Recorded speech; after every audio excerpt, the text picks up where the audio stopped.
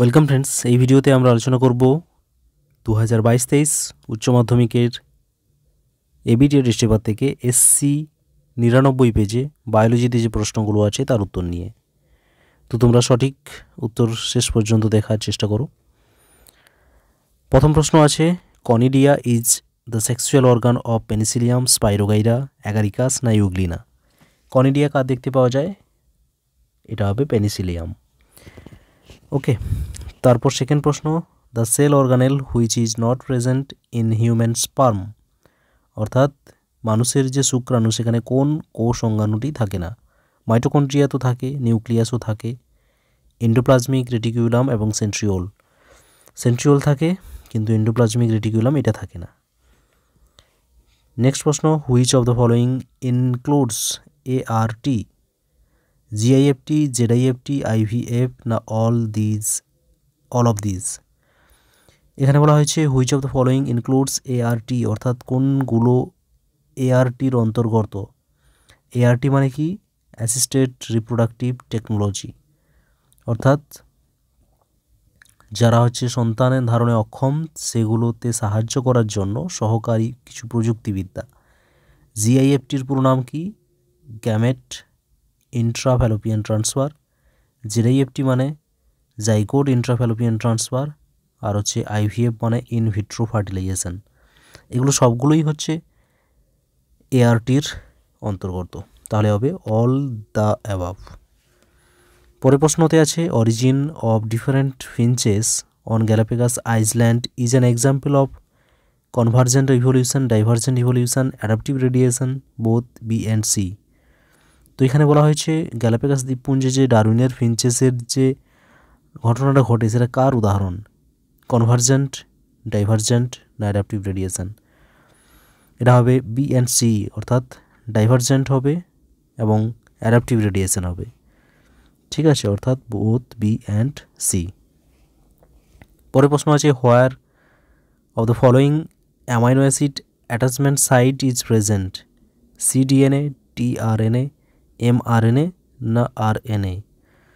অর্থাৎ এখানে কোনটাতে অ্যামাইনো অ্যাসিড সংযুক্ত হওয়ার জন্য সাইট আছে?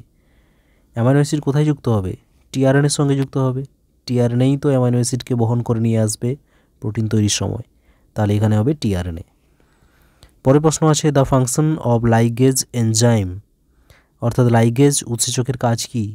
Joining DNA fragment, fragmentation of DNA, replication of DNA না প্রুভ রিডিং অফ ডিএনএ কী হবে?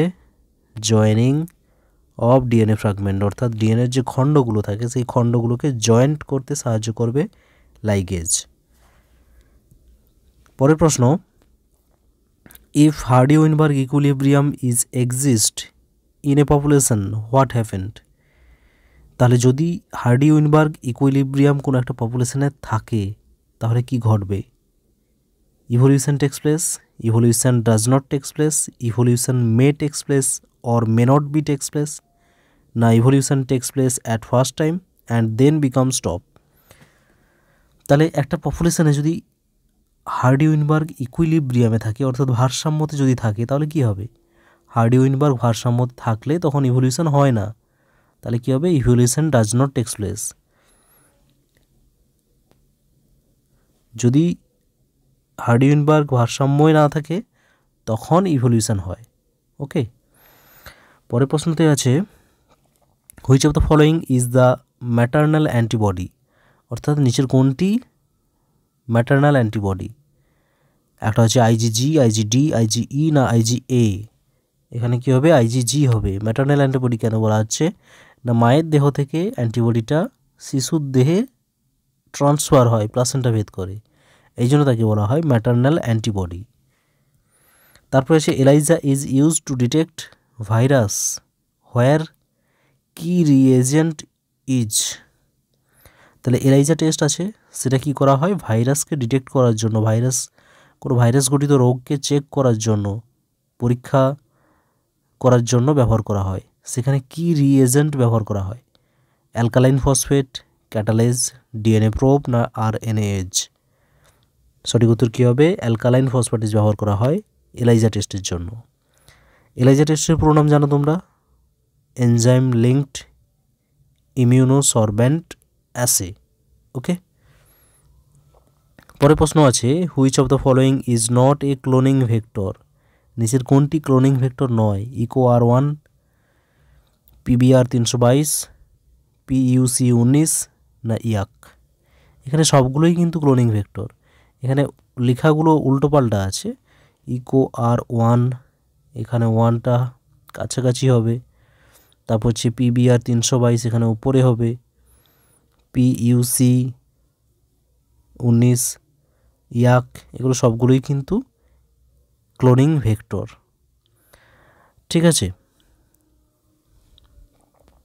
পরের প্রশ্ন আছে Bt brinjal is a hybrid plant polyploidy plant a clone plant না ট্রান্সজেনিক প্ল্যান্ট বিটি ব্রিঞ্জেল অর্থাৎ বিটি বেগুন, এটা কী ধরনের প্লান্ট এটা হচ্ছে এক ধরনের ট্রান্সজেনিক প্লান্ট অর্থাৎ জেনেটিক্যালি মডিফাইড অর্গানিজম এক ধরনের। তারপরে প্রশ্নতে আছে transitional zone between two distinct community is known as ecotype lichen ecotone না বায়োটাইপ অর্থাৎ দুটো আলাদা আলাদা কমিউনিটির মধ্যে যে সংযোগ স্থলটা, সেটাকে কী বলা হয়? ইকোটোন বলা হয়। অপশান সি হবে সঠিক উত্তর হ্যাঁ? তারপর প্রশ্নতে আছে an example of secondary air pollutant অর্থাৎ গৌণ বায়ুদূষক কোনটা? সালফারের dust, aromatic hydrocarbon, carbon monoxide, না পারক্সি অ্যাসিডাইল নাইট্রেট, অর্থাৎ পিএএন তোমরা জানো পারক্সি অ্যাসিডাইল নাইট্রেট এটাই গৌণ বায়ুদূষক। তারপরে প্রশ্নতে আছে, red panda is red panda হয় কী ধরনের? স্পিসিস। এক্সটিং স্পিসিস, না এন্ডেঞ্জার স্পিসিস, না ভালনারেবল স্পিসিস, না রেয়ার স্পিসিস। এটা কী হবে? Endanger species. তারপর প্রশ্নতে আছে, হোয়াট ইজ ফলস ফ্রুট? অর্থাৎ অপ্রকৃত ফল কাকে বলা হয়?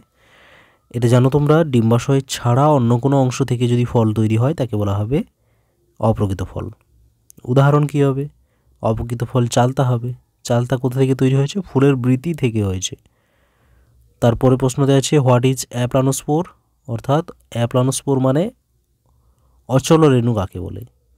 তাহলে যে সমস্ত রেণুতে ফ্লাজেলা থাকে না, যারা গমন করতে পারে না, তাদেরকে বলা হয় অচল রেণু। উদাহরণ কী হবে? কনিডিয়া, গনিডিয়া ইত্যাদি হবে। তারপরে প্রশ্নতে হচ্ছে, what is meant by DNA polymorphism? অর্থাৎ ডিএনএ পলিমরফিজম কাকে বলে? ঠিক আছে, এটা তোমাদের লিখতে হবে সংজ্ঞা। কীভাবে লিখবে?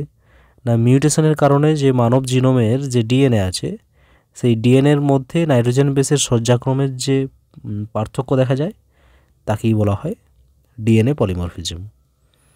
তারপর হচ্ছে, হোয়াট ইজ ট্রান্সজিন? ট্রান্সজিন কাকে বলে? এটা কি হবে?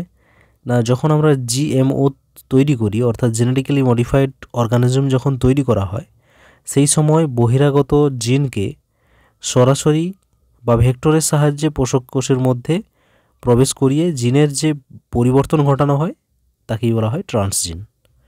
যেমন হচ্ছে বিটি জিন। অর্থাৎ ক্রাইজিন যে, এটা হবে ট্রান্সজিন।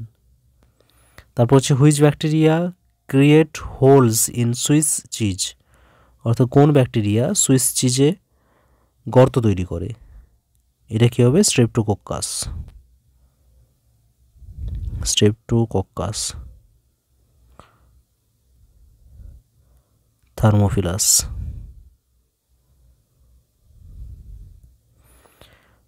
তারপর প্রশ্ন আছে give an example of psychedelic drug অর্থাৎ সাইকেডেলিক ড্রাগের উদাহরণ কী হবে? সাইকেডেলিক ড্রাগ অর্থাৎ হ্যালুসিনোজেনিক ড্রাগকেও সাইকেডেলিক ড্রাগ বলা হয়। ভ্রম তৈরি করে এগুলো হ্যাঁ? তাহলে কী হবে? এলএসডি হবে। লাইসার্জিক অ্যাসিড ডাই ইথিলামাইড তারপরে আছে হোয়াট ইজ ক্লাইম্যাক্স কমিউনিটি?